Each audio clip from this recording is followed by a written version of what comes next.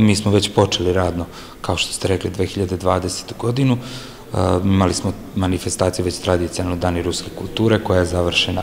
u krajem januara i večera smo imali priliku da, da prisustujete promocijama knjiga o stanovništvu Šida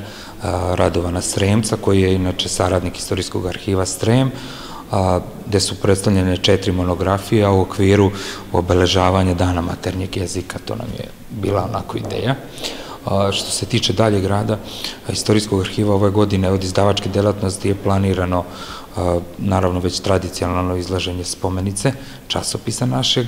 a takođe planiramo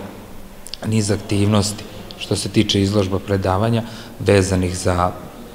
za obeležavanje 75 godina pobjede nad fašizmom. Da izgleda da, da ćemo biti deo obeležavanja 250 godina doseljavanja Slovaka u, u Srem, a pripremamo par izložbi tematskih vezano za Rusine, u Vojvodini biće sigurno desetine ovaj, promocije